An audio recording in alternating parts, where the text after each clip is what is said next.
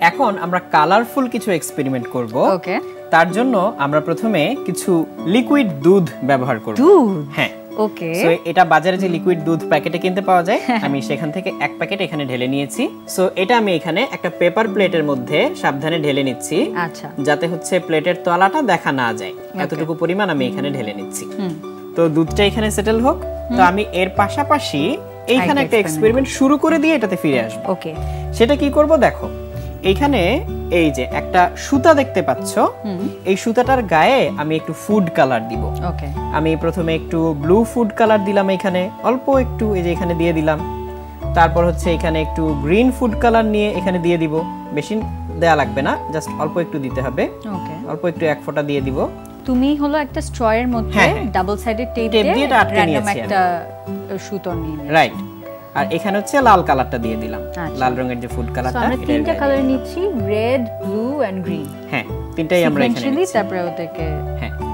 দিয়ে আমরা এইটাকে এর মধ্যে রেখে দিব আর এখানে পানি ঢেলে দিব। আচ্ছা। তাহলে পানিটা এমন ভাবে ঢালবো যাতে অ্যাট লিস্ট হচ্ছে সুতাটা পর্যন্ত এটা ভিজে যায়। তো এটা আমরা পাশে রেখে দিলাম। এটা ওর মতো করে যা কিছু করতে থাকুক।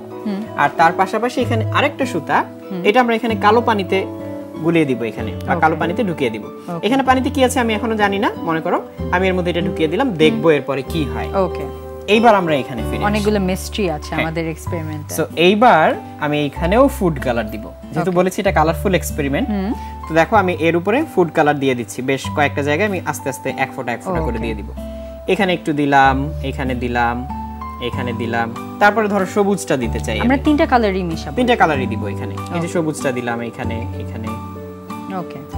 দিয়ে এরপরে দেখো আমি কি করি।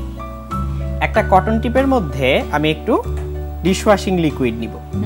সো এটা তো সাবান তাই না? আমি এখন এটাকে এর মাঝখানে টাচ করব। টাচ করলে দেখো কি হয়। কালারটা স্প্রেড হয়ে যাবে? কালারটা স্প্রেড হয়ে যাবে। তাহলে দেখো কি হয়। রেডি রেডি আমি এখানে দিচ্ছি।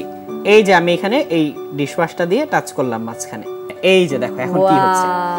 এই কালারগুলো যে দৌড়াদৌড়ি করছে দেখতে পাচ্ছ? হ্যাঁ।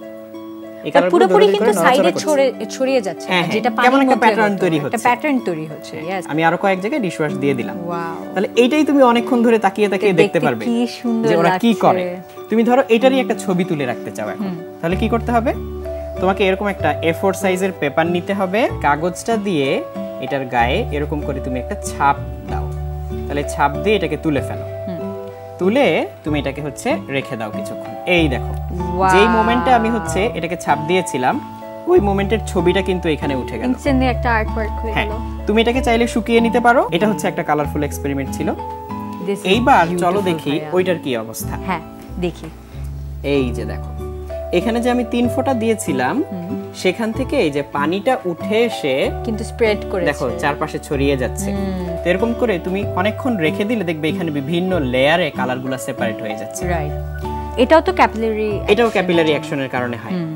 আর এইখানে আমরা হচ্ছে একটা পানির মধ্যে একটু রং গুলিয়ে রেখেছিলাম ফুড কালার এটা দেওয়াতে দেখো জাস্ট নিচের অংশটা ডুবানো ছিল। উপরে এতখানি পর্যন্ত হচ্ছে কালার হয়ে যাচ্ছে। অলমোস্ট অর্ধেক। হ্যাঁ এবং নিচের দিকে হচ্ছে সবুজ কালারটা দেখা যাচ্ছে আস্তে আস্তে সেটা হালকা হালকা নীলের দিকে চলে যাচ্ছে। তো আমি এখানে রেখে দিলে একদম উপর পর্যন্ত কালারটা চলে আসবে। তো এরকম এক্সপেরিমেন্ট তোমরা যে কোনো রঙিন জিনিস দিয়ে করে দেখতে পারো। রাইট খুবই ইন্টারেস্টিং লাগল আমাদের আজকের সেট অফ এক্সপেরিমেন্টস স্পেশালি কারণ এত কালারফুল ছিল প্রত্যেকটা এক্সপেরিমেন্টই কিন্তু স্যাডলি সেই সাথে আমাদের আজকের শো এর সময় এখানেই শেষ। আশা করি তোমাদের সবারই ভালো লেগেছে। আগামী পর্বে তোমাদের সাথে আবার দেখা হবে।